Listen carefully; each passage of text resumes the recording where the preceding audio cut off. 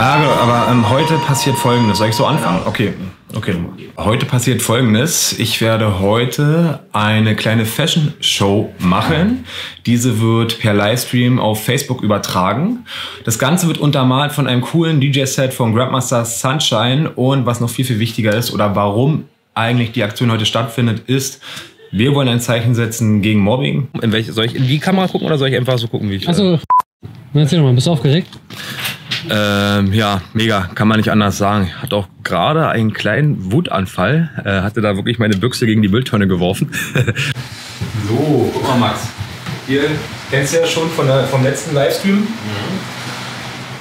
Alles schon aufgebaut. Ey, wir haben hier gestern wirklich bis 4 Uhr morgens haben wir hier geprobt nochmal. Mit oh, das hier ist mein Stuhl, I love.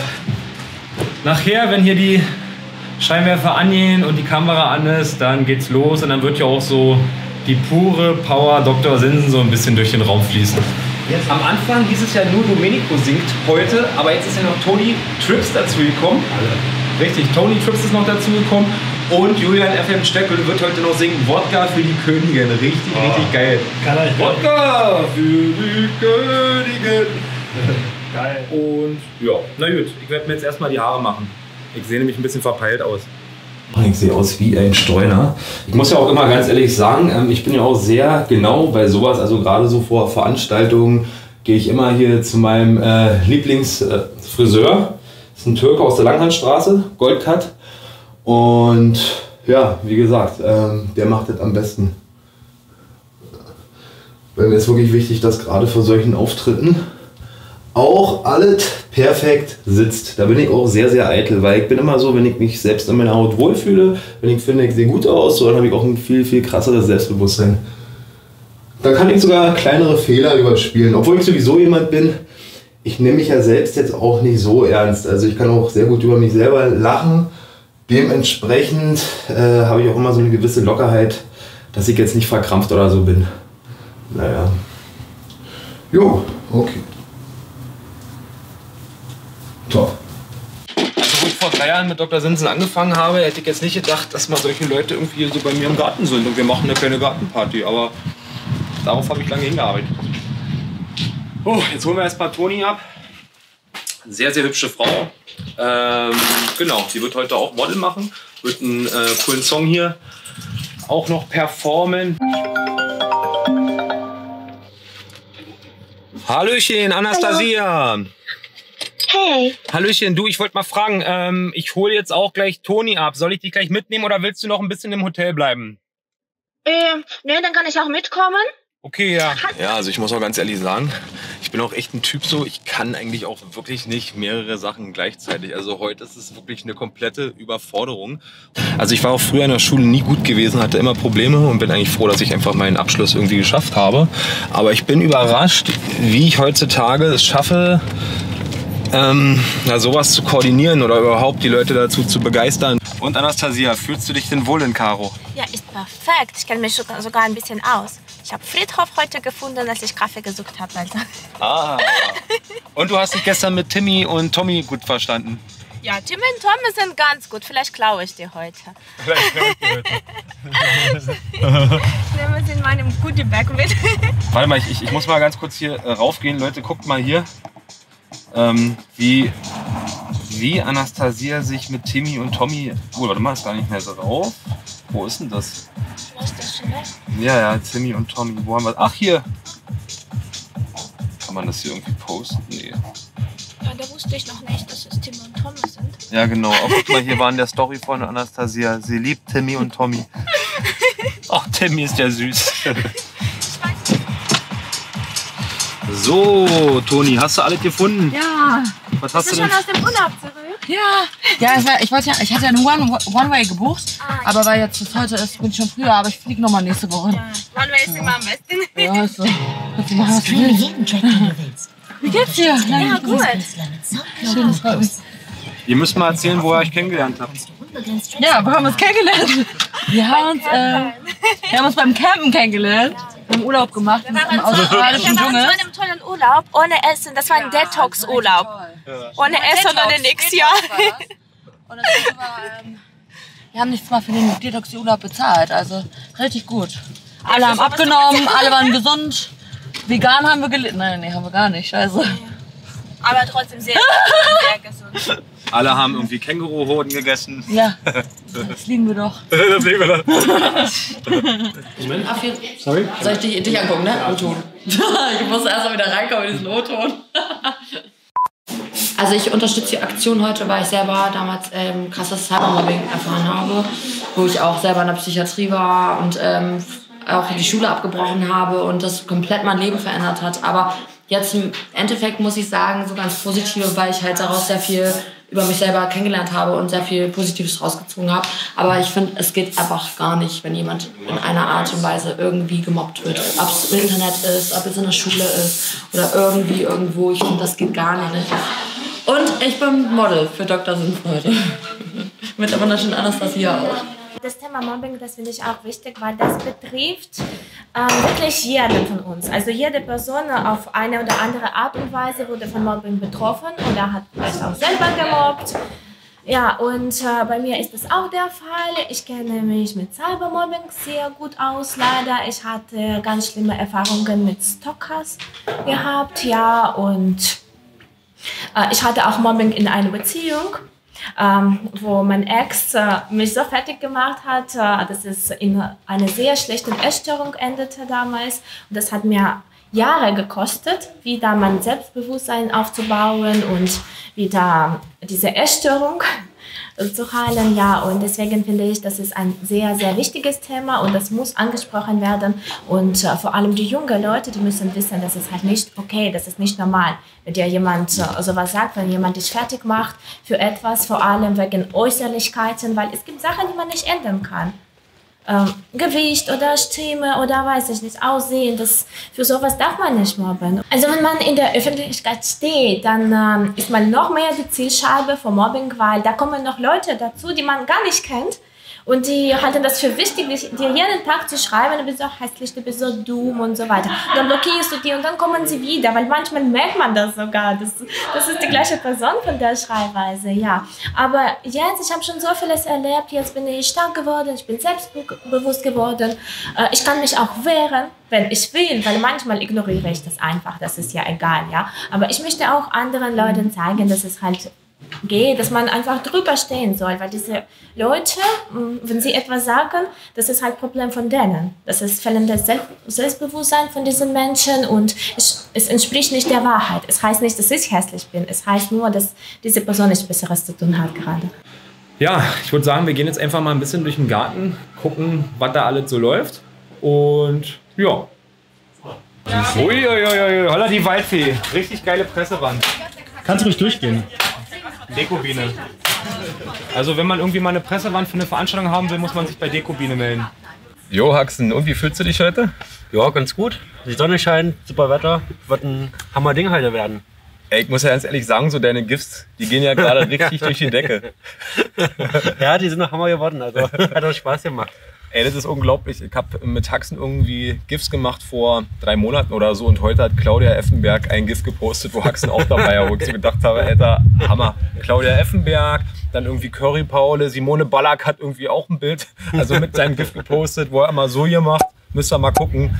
Mega lustige Sachen. Also, ja. ja. Die sind auf jeden Fall ganz schön gut geworden. Hat auch Spaß gemacht. Ey, und man muss ja dazu sagen, beim ersten Livestream hier war ja Haxen auch äh, Model gewesen. Genau. Ähm, hat er wirklich richtig, richtig top gemacht. Und er wird heute auch ein bisschen tanzen. Also er wird hier auch ein bisschen so helfen. Das ist ja so das Krasse. Er wird so ein bisschen helfen, auch natürlich, was im Hintergrund passiert.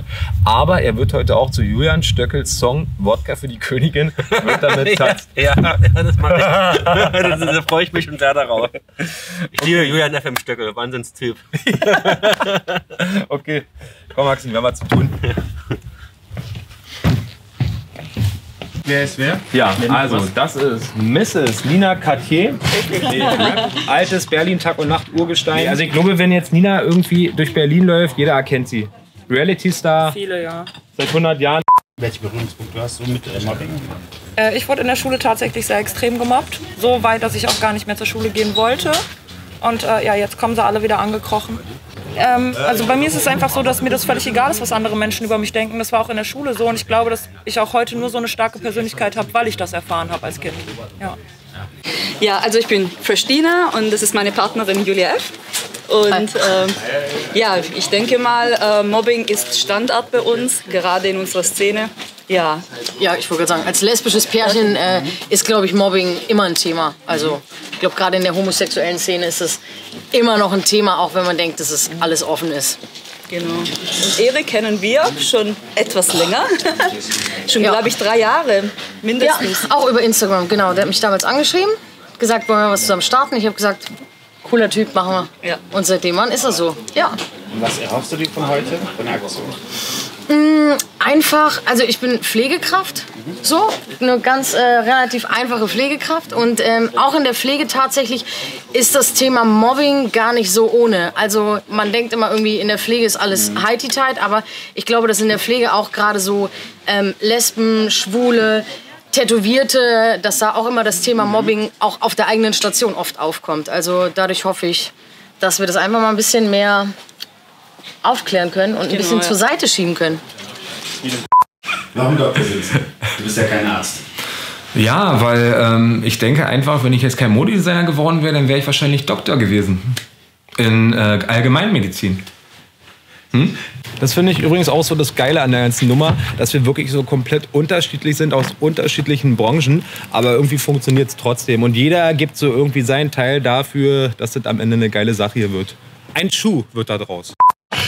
Sie kennen mich vielleicht nicht, aber durch die Leute habe ich ein Kärtchen mitgebracht. Okay. Bröselmann, ich bin Sänger, ich bin Sänger. Okay, Rapper, sehr ja. bekannt, hab zwei Songs. Mhm. Ich bin sehr berühmt. Sehr berühmt, ja? Ich wollte zu Ihren auf die Party. Okay, okay. Äh, Der Domenico ist mein Bruder. Ach, der Domenico. Wir sind so pro, sind wir. Ne? Also, äh, der hat mir gestern erzählt, dass Sie hier eine Party haben. Richtig, ja. Ja, da habe ich gedacht, ich setze mich hin, so bin losgefahren, bin jetzt hier. Ne? Da willst du auch singen oder wie? Nee, nee, nee, ich, äh, nee, ich wollte ich wollt ein paar Prominente kennenlernen. Komm rin, Brüsselmann. Ja, das freut mich. Ich bin Tränen, Jungs. Alle kennen ja da draußen. Richtig. Komm ich Brüsselmann. Tränen, das gibt's nicht. Mensch, ich sag's euch, was, was habe ich euch immer gesagt? Man muss sich nur trauen, ne? Ich glaub, wer euch nicht. Guck mal, willst du mal auf den roten Teppich irgendwie mitkommen? Oh, das ist Wahnsinn, ja. Hier mal. Habt ihr das gesehen? Ich gehe jetzt auf den roten Teppich mit, mit, mit, mit. Guck, guck, Ich bin ein bisschen aufgeregt. Das ist für mich das erste Mal rote Guck mal, Teppich. kommst du ins Fernsehen? Nee, das ist Fernsehen. Das ist Fernsehen. Da muss ich sieht gut aus. Bauch reinziehen, sieht gut aus, ja. Ne? Ich bin nämlich auf der Suche, ich bin Single, ne? man sieht das, ne? Und äh, man hat mich gesagt, ja, es sind ganz viele prominente gut aussehende Menschen da. Und da habe ich gedacht, dann darf ich nicht wählen, ne? Schließlich bin ich bei uns für Sexappeal zuständig. Ich bin die Marie Charlotte, ich komme aus Cottbus, bin Moderatorin und Model und genau, kenne Erik jetzt schon seit einem Jahr und war schon mal bei zwei Shows von ihm mit dabei. Warum unterstützt du gerade ähm, diese Aktion? Ich finde, äh, Mobbing ist ein sehr, sehr schlimmes und aber auch wichtiges Thema. Ich habe selber auch schon mal damit zu tun gehabt. Und ähm, ja, ich finde, das zieht sich schon immer so durchs Leben hindurch, wenn ganz viel Neid entsteht bei anderen Leuten. Oder bei mir war es so, dass bei meinem früheren Arbeitgeber sehr viel Neid aufkam, weil ich mal Miss Brandenburg geworden bin. Und da wurdest du halt nur auf deine Schönheit runter reduziert und ähm, es wurde halt gesagt, dass du nichts anderes weiter kannst. Und sich dagegen durchzusetzen und wirklich trotzdem stark zu bleiben, das ist halt immer die Kunst.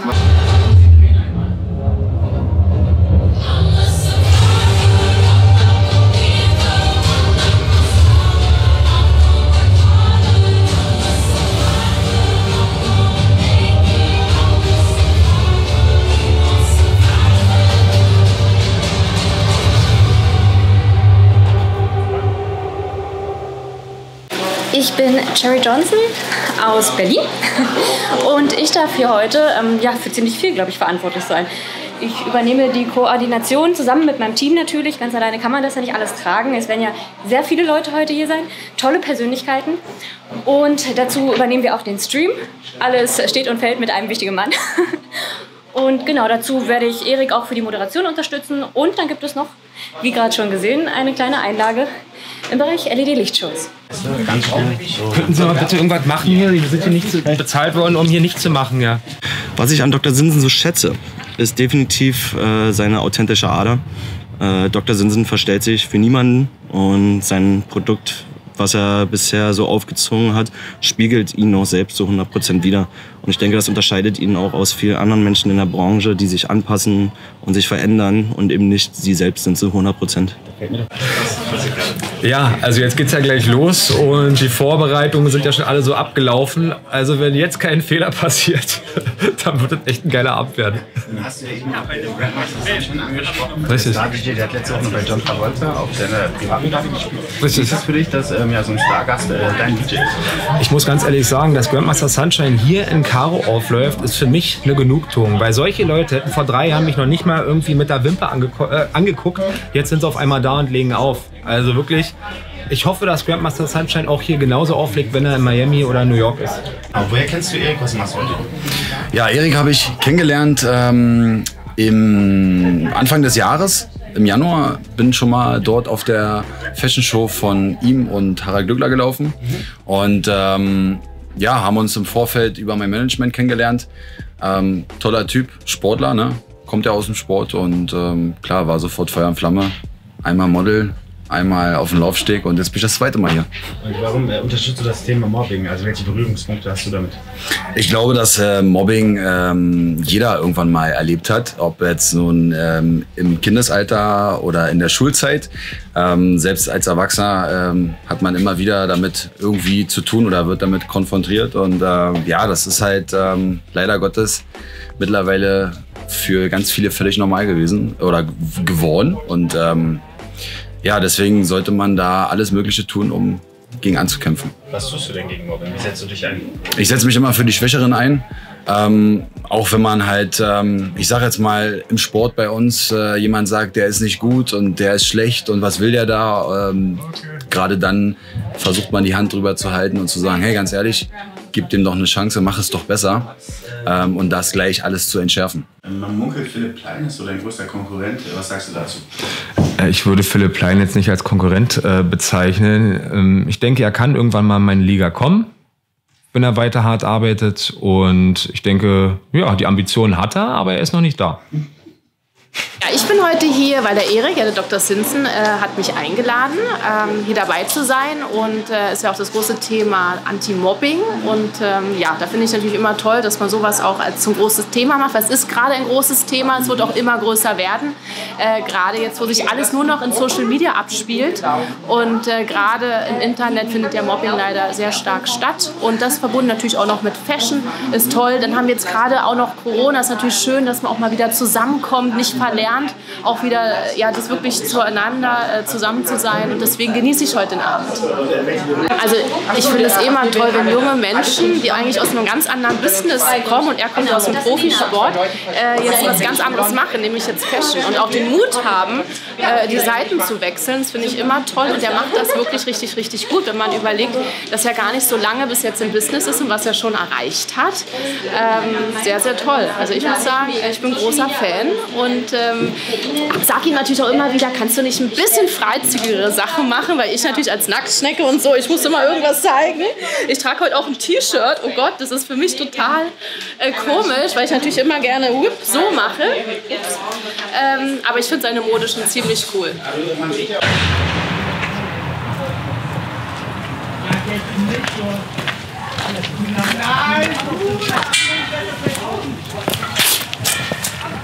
Erik. Guter Hallöchen. Schön, dass du hier bist, Mensch. Ja, hab's ja gleich gefunden. Aber sag mal, so geht das ja nun ja nicht. Ich hab dir gesagt, du sollst dich richtig vorbereiten. Ja, basically. Das ist eben mein Style. Ja. Warte mal, am Ende muss ja alles so sein, es auch richtig ist. Absolut, absolut. Warte, so.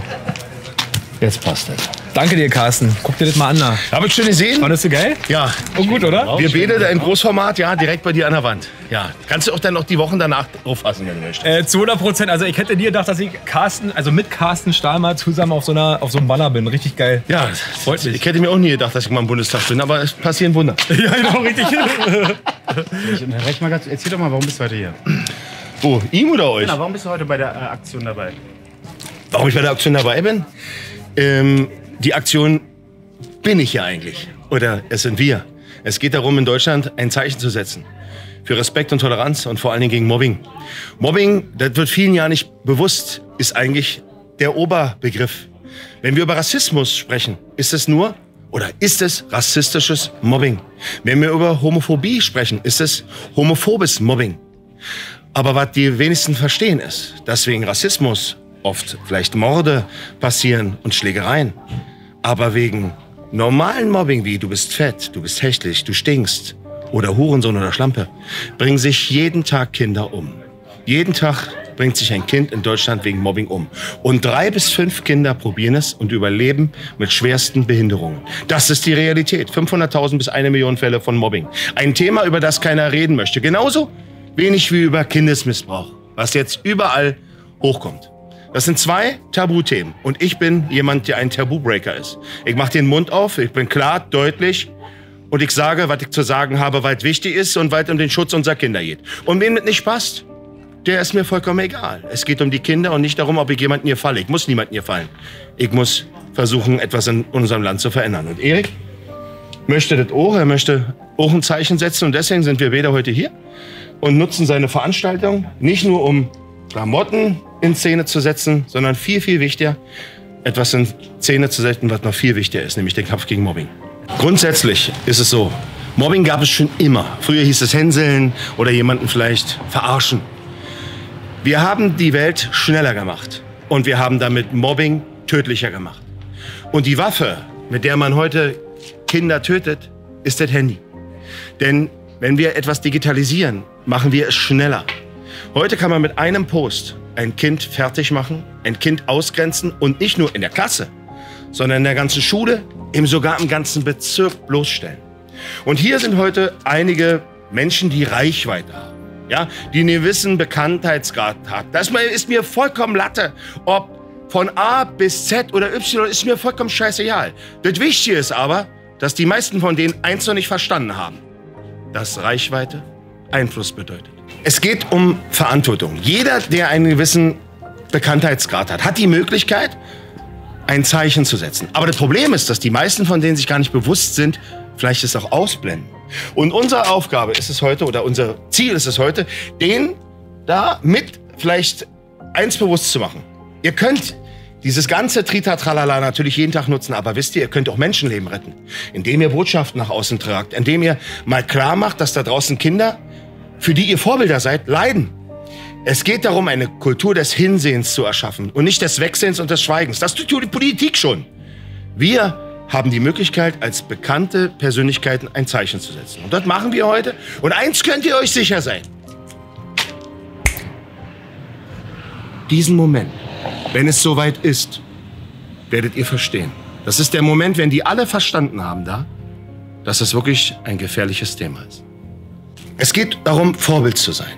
Und Erik nutzt seine Marke, genau wie ich meine Marke, um etwas zu verändern. Und er benutzt sein eigenes Label Dr. Zinsen, um ein Zeichen zu setzen für Respekt und Toleranz und gegen Mobbing. Und das ist vorbildlich. Und deshalb stehen wir beide heute hier, um mit Chemstahl, Stop Mobbing und Dr. Zinsen ein Zeichen zu setzen. Und alles andere ist nebenbei. Es geht hier um den Schutz unserer Kinder. Also, was hat jetzt Mode mit Mobbing zu tun? Ja, was hat Mode mit Mobbing zu tun? Ähm, Mobbing hat mich einfach zu dem gemacht, was ich heute bin. Weil es war früher so gewesen, dass ich wirklich in der siebten Klasse das absolute Opfer war. Jeden Tag haben mir die Leute erzählt, du bist hässlich, du bist dumm.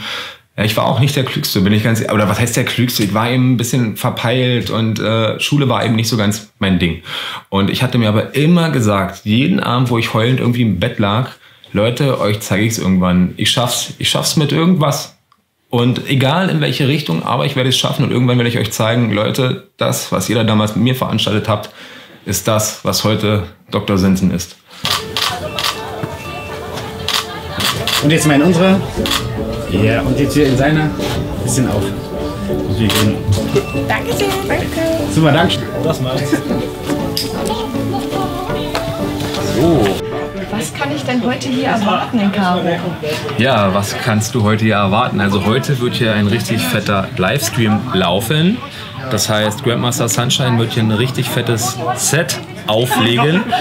Dieses wird mit meiner aktuellen Dr. Sinsen Kollektion veredelt. Aber was noch viel wichtiger ist, wir als Künstler wollen heute ein Zeichen setzen. Ein Zeichen setzen gegen Mobbing, weil ich damit selbst zu kämpfen hatte. Und ich glaube, das ist so das Hauptding, warum die ganze Nummer heute hier stattfindet. Und man hat ja auch schon anhand der Künstler gemerkt, ich habe die angerufen, die hatten auch richtig Bock auf die Sache und alle haben festgestellt, sie haben auch schon mit Mobbing bis jetzt in ihrem Leben zu kämpfen gehabt. Vielen Dank. Dankeschön. Ey, yo, Dr. Simpson! Mensch, mein bester Hallöchen. Danke für die Einladung. Ja, kein Ding, kein Ding. Alter, ich freue mich, dass ich hier mitlaufen darf. Wisst ihr was? Wir setzen heute ein Zeichen gegen Mobbing, mein Freund. Wir setzen heute ein Zeichen gegen Mobbing und dann bin ich echt froh, dass ich hier sein darf. Danke. Warum ist das wichtig? Weil es mir wichtig ist. Naja, jeder muss ein Zeichen setzen, oder? Nobody's perfect. Deswegen, wer sich was für was, äh, wer sich was für was Besseres hält, hat verkackt in der Gesellschaft. Hast du schon Mobbing-Erfahrung? Ja, selbstverständlich. Ich bin nicht groß gewachsen, habe keine Haare, habe hier und da manchmal einen Sprachfehler, aber ich bin so wie ich bin. Dank Ihnen darf ich auch hier sein. Geil.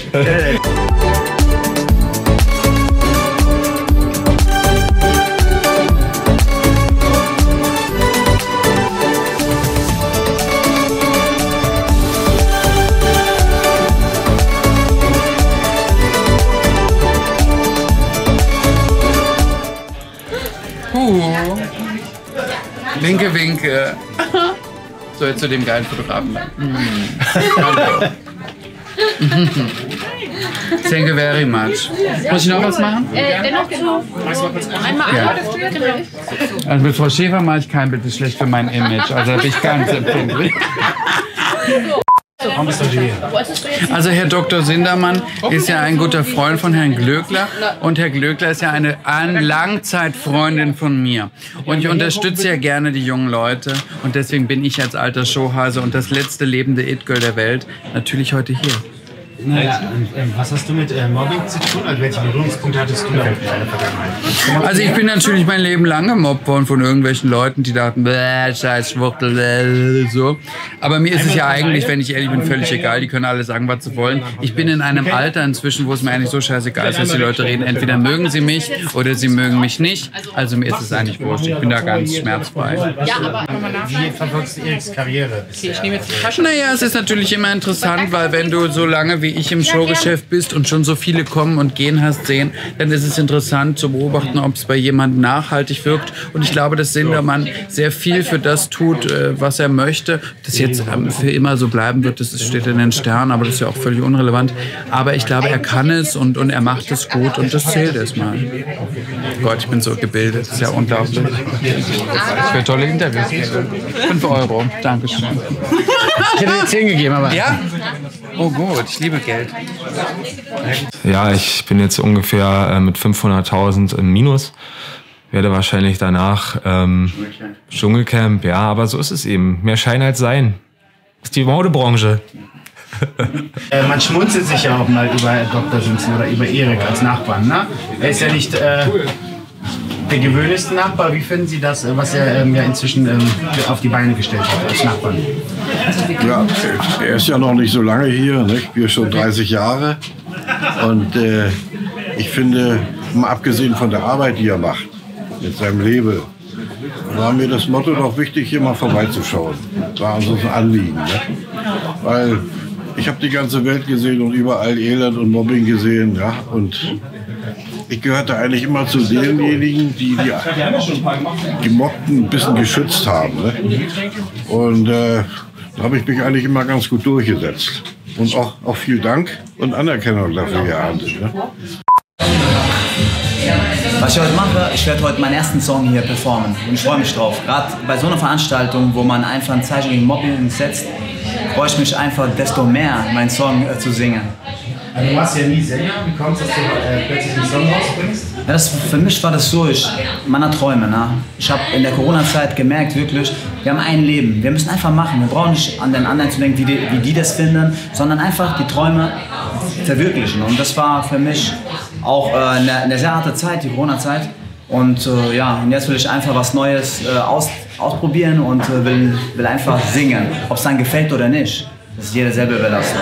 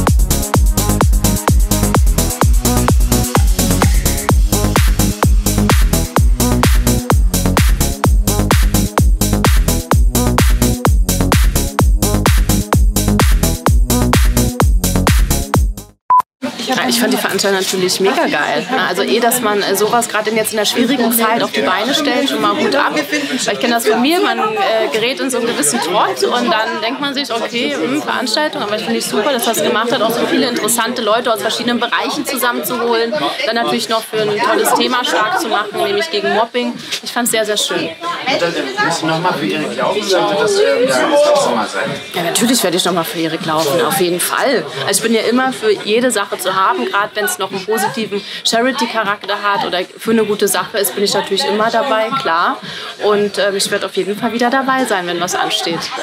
Es war ein super toller Abend und Erik hat es ganz toll gemacht. Er wird durchstarten mit seinem Label Dr. Sinsen und dafür wünsche ich ihm jedes Glück der Welt. Juhu! Ist ja Ja, ich war ja, ich bin ja auch Bäuerin. Eigentlich habe ich ja auch Kühe und, und zipfe und zapfe Milch. Also von es war das Schärfste, was ich hier auf dem Land erlebt habe. 20 Euro. Nice.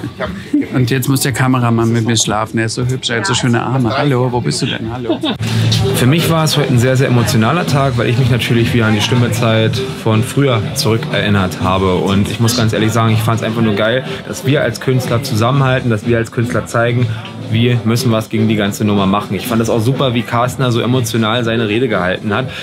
Hört sich jetzt wirklich krass an, mir ist fast eine Träne geflossen.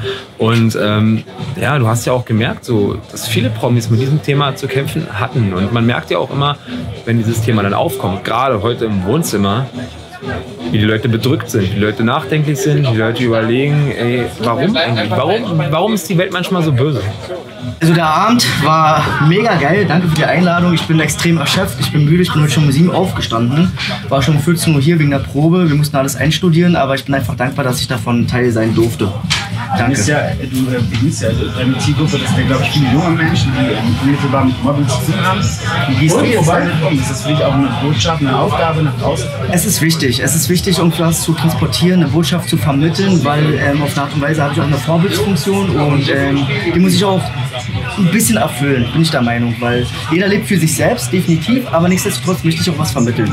Ich bin auch ein Opfer von Mobbing, weil ähm, es ist einfach so, jeder Zweite wird in Deutschland gemobbt. Man darf das nicht unter den Teppich kehren und ich finde, man muss einfach aufstehen und ein Zeichen setzen.